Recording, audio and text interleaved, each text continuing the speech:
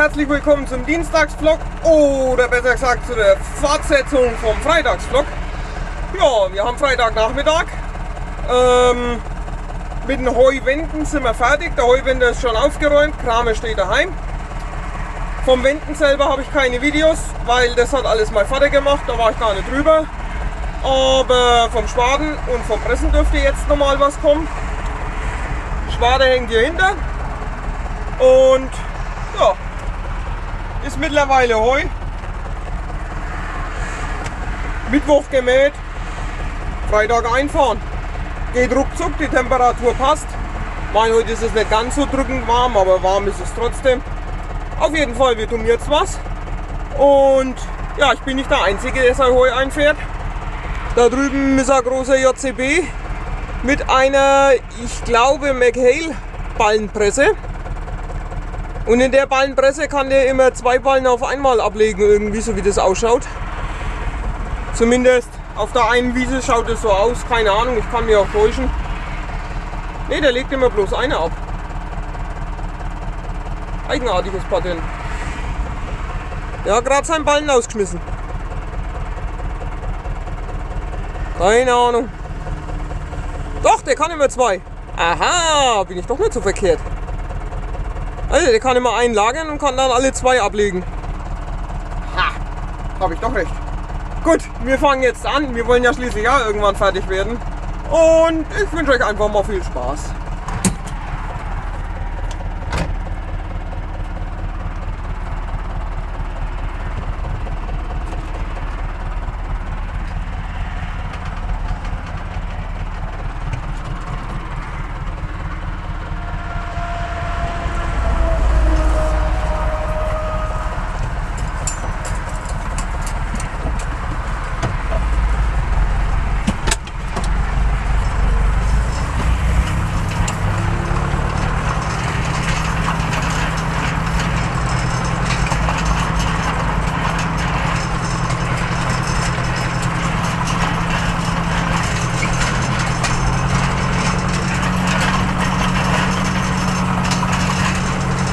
Ja, der Schwader hängt übrigens auf der langsamen Zapfwelle. Also nicht, dass sich einer wundert. Der Grund ist einfach hier mit der Hanglage, habe ich mir gedacht, besser ist es. Bodenunebenheiten und und und.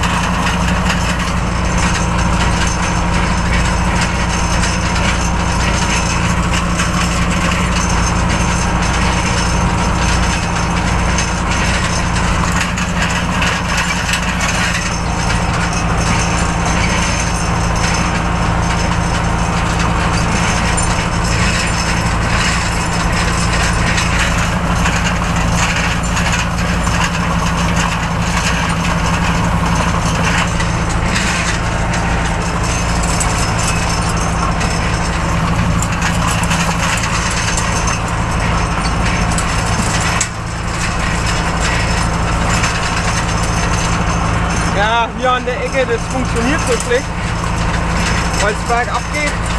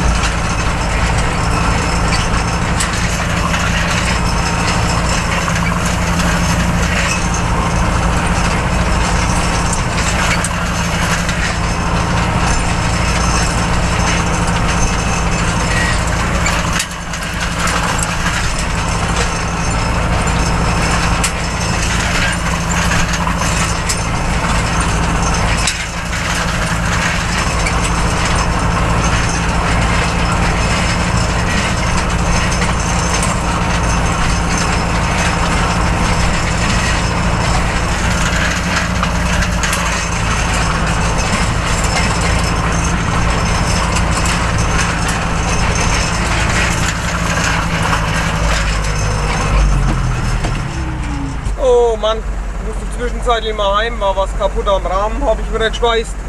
Ähm, da vorne dran, quasi wo der Stützfuß ist, da war der gebrochen, da sieht man jetzt eine neue Schweißnaht. Ja, musste ich vorhin abbrechen, heimfahren. Jetzt bin ich gerade wieder rein und ja, wieder ein wenig weitergemacht. Den Hang habe ich jetzt größtenteils schon rausgezogen. Mann, Mann, Mann, Mann, Mann. Also wenn der Tank voll wäre, wäre mir ehrlich gesagt fast ein wenig lieber. Dann hätte ich nicht so das Gefühl, der kippt mir gleich um. Andererseits, wenn der Tank so leer ist, ich weiß auch nicht, wie es besser ist, aber nee, ich bin zu alt für diesen Scheiß. Gut, ziehen wir es jetzt gerade zusammen und dann pressen wir es heute nicht mehr. Es ist mittlerweile ja, dreiviertel sieben. Scheiße, es ist sehr spät geworden durch das mit der Schweißen, aber wie es immer ist, irgendwas ist immer.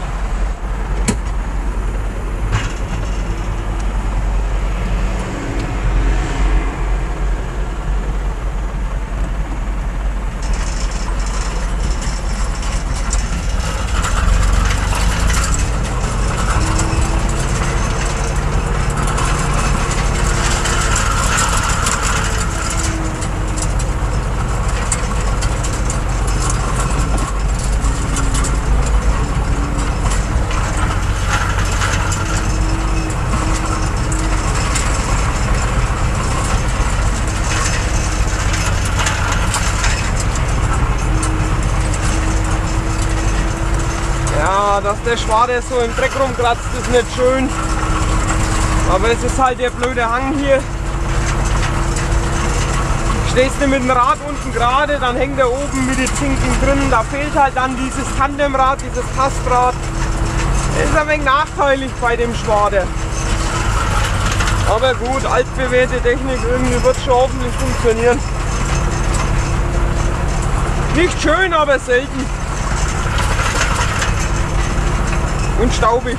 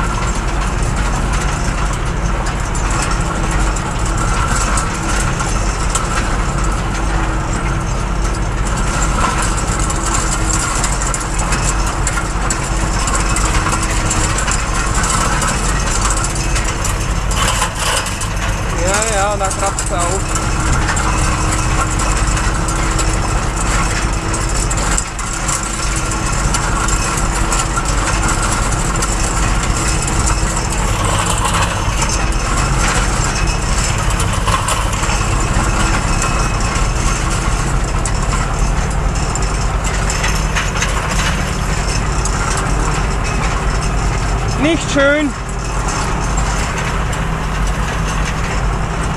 Das ist ein Nachteil an der Wiese.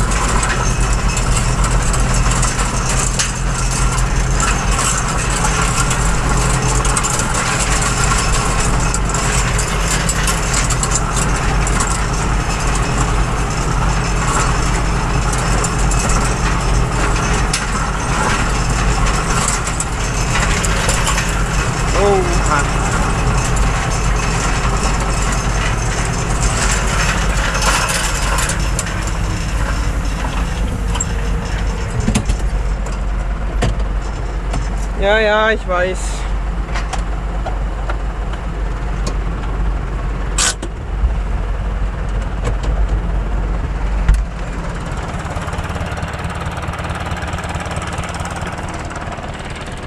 Da gibt es mit Sicherheit jetzt einige Leute, die sagen, äh, der Haufen Dreck drin. Äh, ich weiß, ich weiß, ich weiß, aber was will ich machen?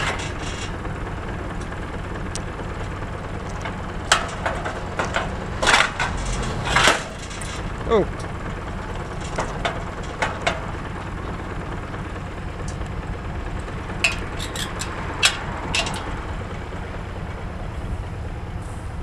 So an sich schaut es nicht schlecht aus.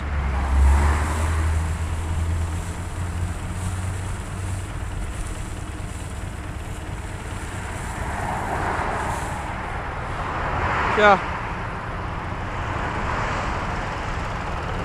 Der Boden ist trocken.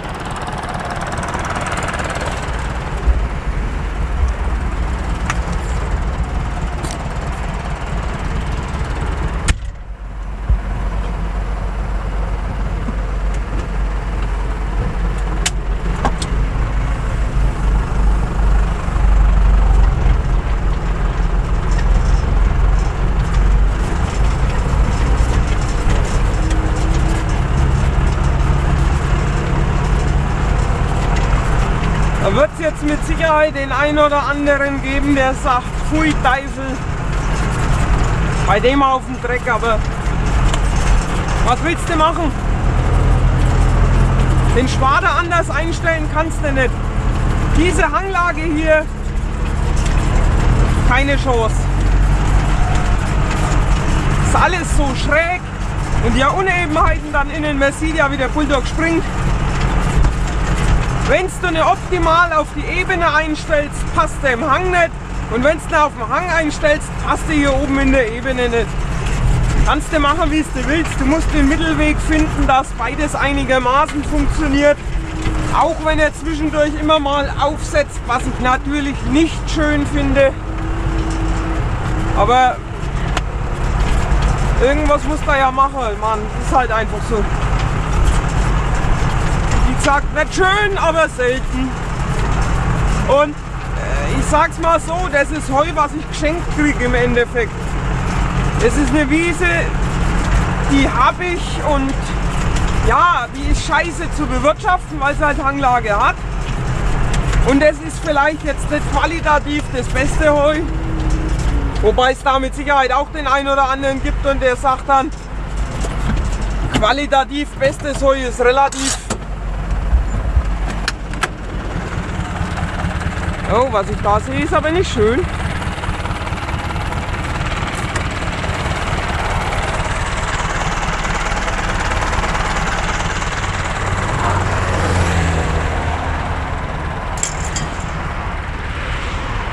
Wenn du in die Reifen hast, na dann gute Nacht.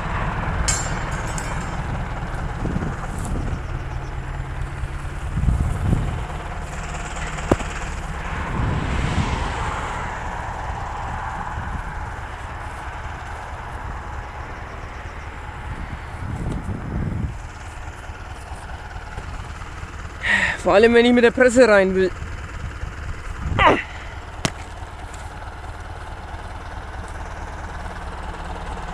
Nein, nein, nein.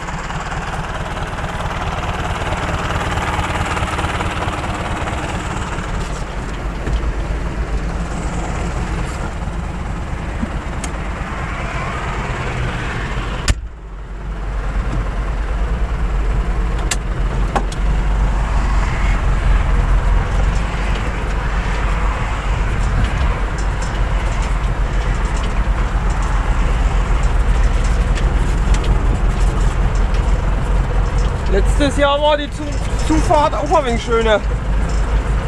Tja.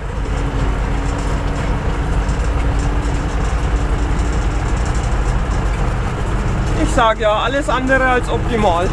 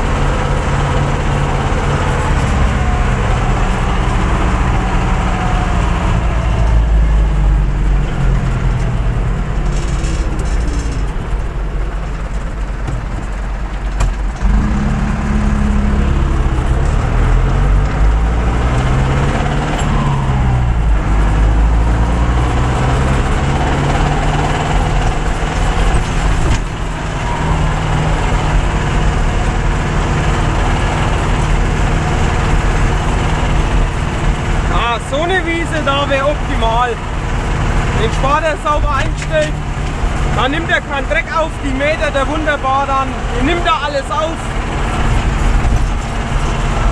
Oder so. Ja.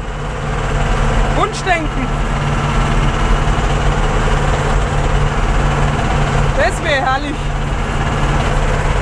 Aber ich mühe mich für solche Hanglagen ab. Ah ja. Das halt. Ja, jetzt habe ich mich doch umentschieden. Ich werde jetzt trotzdem gleich noch abends pressen. Ähm, morgen ist bei uns im Art Wiesenfest und ich habe keine Lust dann mit der Presse da oben durchzufahren, wenn die Straßen alle verstopft sind und wenn die ihren Umzug machen. Deswegen presse ich heute noch und hole morgen dann bloß die Ballen heim. Die, wenn über Nacht liegen bleiben, ist nicht schlimm. Ich denke, viel Feuchtigkeit werden sie nicht ziehen, weil es ist sauwarm und so viel kühlt es jetzt nicht ab. Und wenn, dann lasse ich sie bis morgen Mittag oder Nachmittag liegen, kann ich sie auch noch holen. Das ist auch kein Problem, dann dampfen sie ein wenig aus.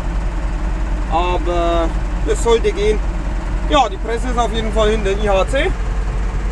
Und jetzt fällt mir ein, ich muss die Riemenspannung noch schnell äh, geben.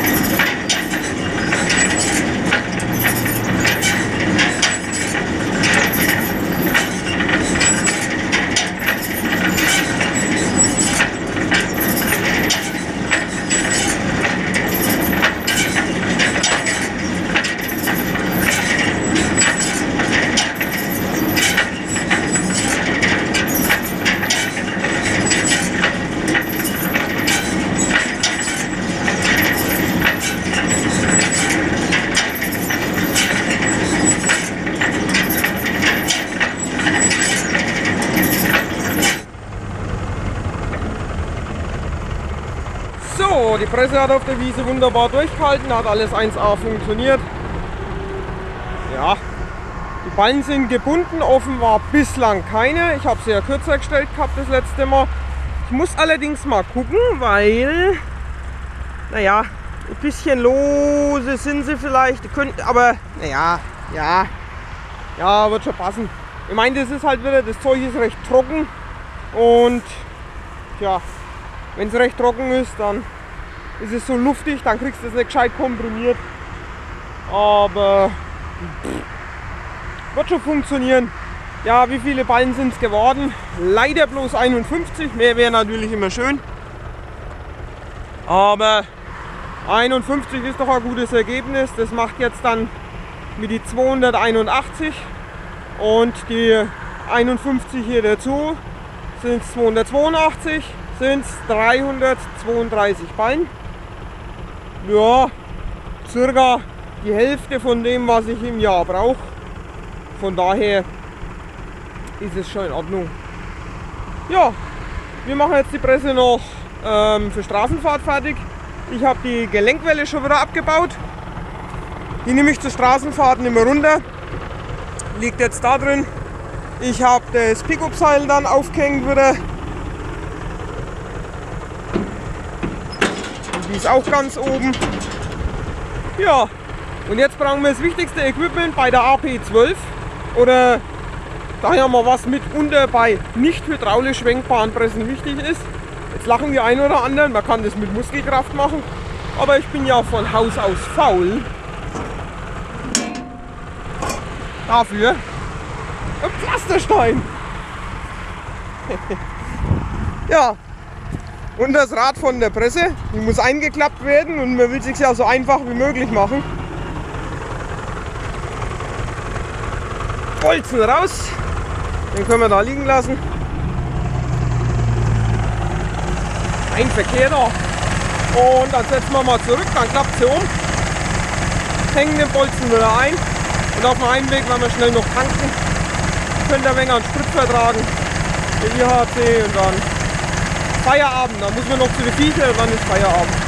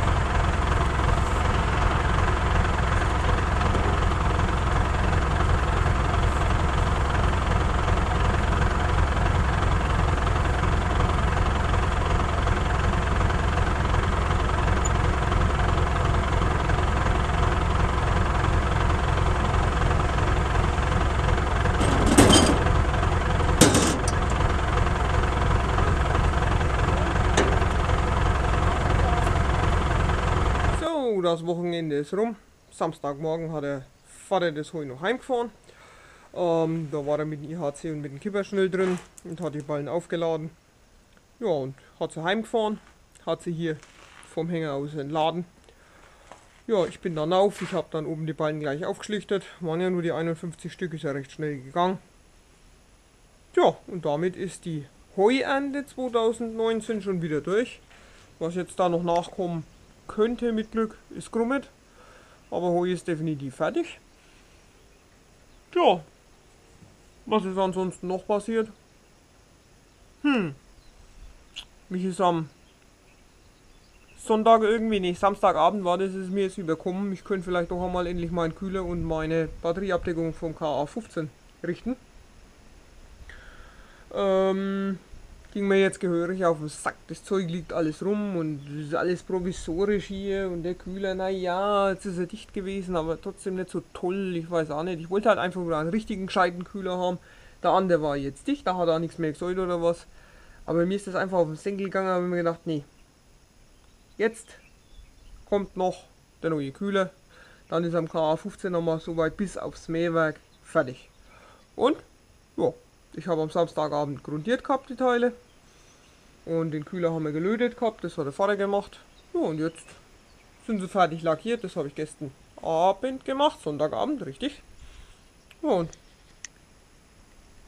Batterieabdeckung, Original KA 15. Und der neue Kühler, na gut, von dem sieht man jetzt nicht so viel, der ist ja unter der Haube. Auf jeden Fall. Fertig lackiert und verbaut. Und ja, ich glaube soweit dicht, soweit gut. Das ist das Wichtigste. Ja. Das sieht man wie gesagt jetzt nicht viel. Der ist ja gut versteckt. Ich habe jetzt gerade mal warm gefahren, um zu schauen, ob irgendwo was kommt, aber soweit ist dicht. Also sollte theoretisch eigentlich alles passen. Ja. Jetzt ist wie gesagt bis auf den Mähbalken und die Mähwerksaufhängung, die halt noch kommt, der KA15 wirklich einmal richtig fertig. Jo. Ich meine zum Lackierbild, was ich jetzt da gemacht habe, da kann ich nur sagen, ja, das könnte schöner sein. Es ist, naja. Hm, ich bin nicht so der gute Lackierer, das gestehe ich, ja, aber immerhin ist es äh, ja grün geworden und es ist äh, glänzend geworden, also so viel verkehrt habe ich dann doch wieder nicht gemacht. Könnte natürlich noch schöner sein und da sehe ich gerade, da könnte noch ein bisschen Farbe drauf, da ist ein bisschen dünn gewesen. Ja. Da. Da guckt noch ein bisschen Weißgrundierung durch. Da muss ich noch mal ran. Hm, böse, das geht doch nicht. So. Verrutschen tut das Ganze normal auch nicht. Alles bombenfest. Puh. Ich finde, schaut auf alle Fälle noch besser aus wie die Siebdruckplatte vorher. Gut. Der eine oder andere würde jetzt sagen, muss der Blechdeckel nicht weiter runter, muss der nicht über der Batterie drüber sitzen. Kann man machen. Man könnte den Blechdeckel quasi über die Batterie drüber setzen, aber ich habe hier original einen Styroporklotz mitgekriegt, der da drin war. Und ich werde ihn nicht tiefer setzen, weil die Gefahr ist mir zu groß, dass die Pole bzw. die Polstecker dann an den Blechdeckel noch kommen. Dann könnte es nämlich auch mal gescheit funken. Das hatte ich ja mal beim K15. Da bin ich an die Motorhaube gekommen. Das hat er gescheit gespratzelt gehabt. Waren so 74 Ampere auf der Batterie. Das tut am mal einen Schlag. Nee, das bleibt einfach so. so. Auf alle Fälle ist es besser wie die Siebdruckplatte, finde ich. Ja, unten drunter habe ich jetzt noch so eine Rutschmatte gemacht, dass das Ganze nicht hin und her eiert. Ähm, der Styrofor hält oben den Deckel, dass das nicht eiert. Am Deckel habe ich oben über das Band auch ein wenig so eine ja, Rutschmatte gemacht, die ich damals von meinem Schweißer gekriegt habe. Sieht man vielleicht da ein wenig. Ja, für meinen Zweck tut's. Soweit, so gut. Wie gesagt, was da jetzt da noch kommt, ist einmal das Mähwerk und ja, da müssen wir es haben. Aber ich bin müde. Tja, geht die Woche wieder früh los. 4.20 Uhr klingelt der Wecker. Oh, ich muss das Video heute noch schneiden. Das wenn wieder zu spät wird. Hm, ich will ja nicht mehr lange schlafen. ja, ja. So ist es immer. Nur gut. So viel auf alle Fälle zum KA 15. Jetzt wisst ihr da auch Bescheid. Da ist wieder ein bisschen was passiert. Nicht die Welt, aber immerhin. Zumal was, was ja ewig liegt. Ich habe gesagt, bis zum Heu bin ich fertig. Naja, so indirekt, ne? Bis nach dem Heu bin ich fertig. ja, auf alle Fälle, das ist gemacht und passt soweit. Ja, Leute, damit wären wir dann jetzt endgültig am Ende vom Video. Haben wir es wieder mal durch. Ähm, ja, das ist auf alle Fälle der erste Schnitt gewesen. Also hier an dieser Stelle, Cut. Erster Schnitt fertig, Rebo, hat top funktioniert. Insgesamt haben wir 331 Ballen gehabt. Ja, hätte noch mehr sein dürfen. Vielleicht jetzt geholfen, wenn ich noch später gemäht die anderen Wiesen. Ähm, meine Hoffnung ist, bis nächstes Jahr definitiv ähm, einen anderen Miststreuer hier zu bringen. Und egal was kommt, ich möchte schauen, dass ich dieses Jahr mal die Wiesen dann im Herbst mit Mist streue. Ich hoffe, dass das funktioniert. Werden wir sehen, wie es nächstes Jahr ist. Ja, das Jahr hoffe ich jetzt dann darauf, dass es vielleicht einmal regnen tät, aber irgendwie ist recht trocken draußen. Das wird wohl eher nichts. Optimum wäre noch einmal ein Grummet mähen können, dass wir noch einmal ja, 280 Ballen zusammenbringen.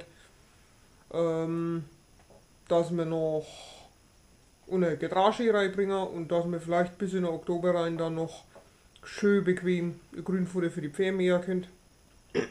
für die Schweine. Aber gut, das wird sich zeigen. Werde ich sehen. Entweder funktioniert so, es funktioniert nicht. Fürs Grünfutter mähen muss er eher mal noch der Balken fertig werden, weil noch einmal mit dem Trommelmähwerk, das ist ein riesen Aufwand. Ein Trommelmähwerk und ein IHC und dann wieder auframmen und dann wieder den Kram ohne Ladewogen. Das machen wir nicht noch einmal. Viel zu doof. Nö, da bin ich auf alle Fälle dafür, dass wir das dann ähm, mit dem Balken machen. Und nein, du hupfst jetzt nicht auf mich hinauf. Die Katz wollte jetzt auf mich hinaufhupfen. Manchmal hat es wenig an der Waffel. Jetzt leck. Ja, sag ja, ja. Der Hund hat da an der Waffel. Nur gut, ich mache jetzt auf alle Fälle Feierabend, tue jetzt das Video noch schneiden und genehmige mir zum ja, Feierabend quasi dann heute noch ein Lager. Mönchshoflager kommt aus Kulmbach. Keine Werbung an dieser Stelle, konnte sich jeder selber kaufen. Ich habe es mir auch gekauft, ich sponsere hier nichts und ich mache keine Werbung hier dafür. Aber ich freue mich jetzt auf ein Feierabendbier. Soll an dieser Stelle natürlich keine Anregung an Minderjährige sein, Alkohol zu trinken. Aber Alkohol in Maßen soll ja durchaus gesund sein, hat es einmal eine Studie gegeben. Und wenn man weiß, was man trinken kann, dann ist es ja kein Problem. Und wenn man das Alte hat, dass man es trinken darf. So, sagen wir das lieber dazu. Nur gut, in diesem Sinne, ich wünsche euch jetzt auf alle Fälle eine schöne Woche. Und ja, wir sehen uns am Freitag wieder. Da wird natürlich wieder nicht so viel passieren bis Freitag, weil der Kram ist jetzt fertig und Heu ist fertig und ja, die größten Arbeiten sind durch. Dreschen geht erst in circa 2-3 Wochen los, das ist noch recht grün. Also, ja, Nein, Stängel haben noch ein bisschen Grünanteil, das wird noch dauern. Die ersten fangen jetzt mit der Gerste, mit der Wintergerste an. Ähm, Sommergerste braucht auf jeden Fall auch noch, was ich gesehen habe, drei, vier Wochen, wenn du dich so umguckst. Ähm, der Sommerweizen braucht auch noch und der Winterweizen, ja, untere, wie gesagt, ist noch nicht ganz, ist vom Auflaufen her, ja, die Trockenheit letztes Jahr, aber es hat funktioniert. Ja. Beschweren will ich mich nicht. Es steht ganz gut da. Mit ein bisschen Unkraut drin. Nein, ich war noch nicht in die Disteln, aber so weit, so gut. So, und jetzt machen wir aber wirklich Feierabend, weil sonst ratsche ich da wieder noch eine Stunde lang und das wollen wir nicht. Ich wünsche euch eine schöne Woche. Bis zum Freitag. Servus.